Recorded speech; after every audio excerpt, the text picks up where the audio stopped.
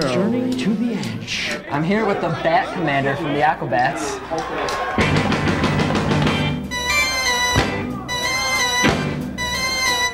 What happened was, is well, we got together with the professor and we decided, hey, let's make music for the kids. You know what I mean? story that must be told. This kind of new. Todd, I'd like the kids at home to know that the Aquabats, we have a new album out. It's called The Aquabats versus the Floating Eye of Death. It's a little bit different. It's not as. It's more. Do you know what I mean? I know exactly what you mean.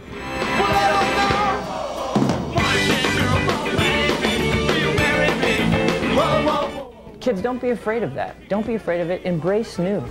Do you know what I mean?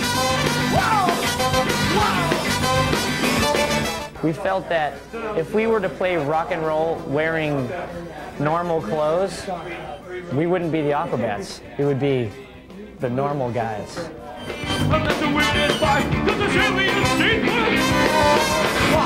We need people to know that we're, we're a tight group, a unit of super dudes that can stand up to what the world needs now is love.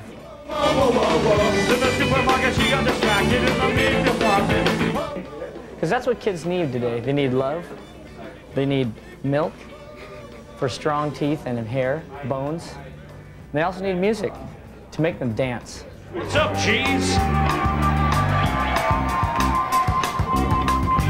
Represent home slice. This is a W. And this is an O.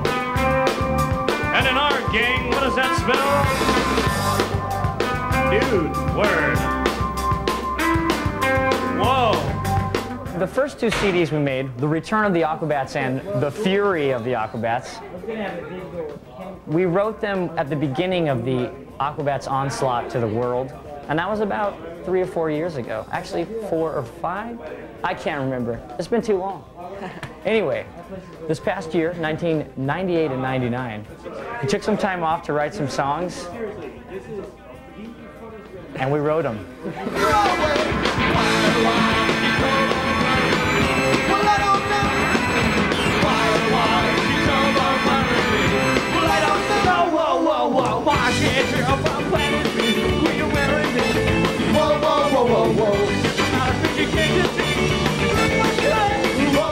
You have any uh, parting words that you want the television land to know before you go? Oh my gosh. This is disgusting.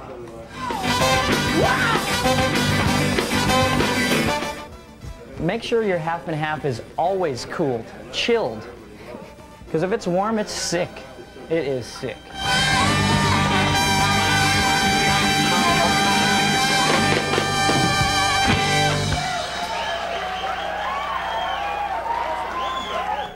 Best friends forever. Homies. Represent. Come on, Todd. How's half and half? Come on, dude. Drink it. Come on, buddy.